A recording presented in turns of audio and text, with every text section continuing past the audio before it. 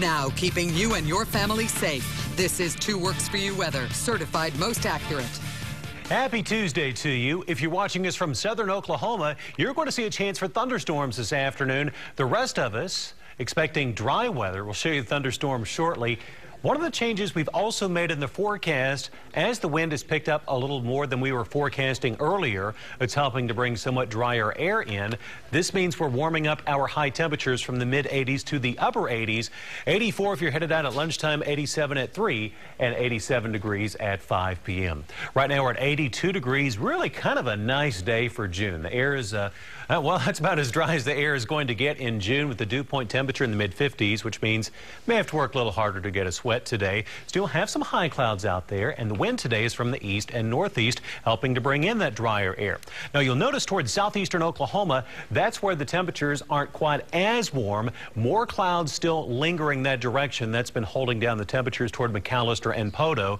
The rest of us seeing temperatures in the 80s. You'll also notice it's cooler toward Joplin. That's closer toward the source of the cooler air. So 70s that direction. Wind speed has certainly picked up since this morning. Right now, it's a touch on the breezy side near 10 to 15 miles an hour with the wind from the east and northeast across green country. Now, there's no rain showing up locally. Viper 2 HD, you can see the dry weather in eastern Oklahoma.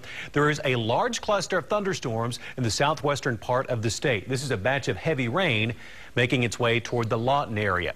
Now, this rain is basically moving straight to the right, straight to the east. So this means the bulk of the rain is going to stay near and south of Interstate 40. So rain south of Tulsa, not in Tulsa. If you're watching us, we'll say from near Okmulgee, then especially south of Okmulgee toward McAlester or anywhere in southeastern Oklahoma, those thunderstorms will be approaching you this afternoon. And you'll notice that on the Futurecast, Tulsa remaining dry down toward southeastern Oklahoma and McAlester, especially south of McAlester down toward the Red River. That's where the bulk of the stormy weather will occur.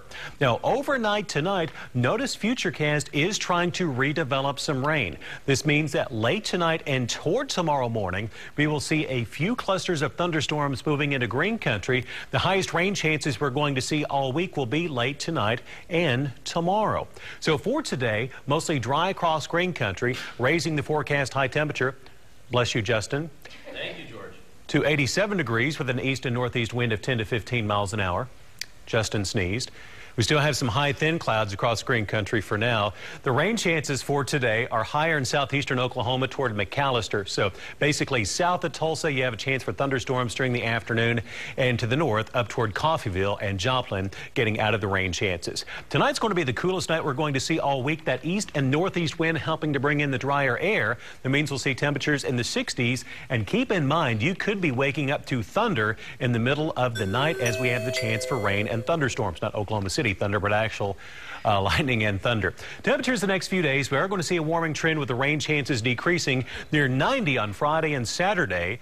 And we'll see lows coming up in the lower 70s as we work our way toward the weekend. Then increasing rain chance coming up on Monday. Justin? Here you go. Oh, well, I appreciate that, he just George. sneezed all over me instead. just kidding. I sneezed that way for the he record. Did, he but did. I appreciate the tissue. You're very kind, George. Justin, I'm a team player.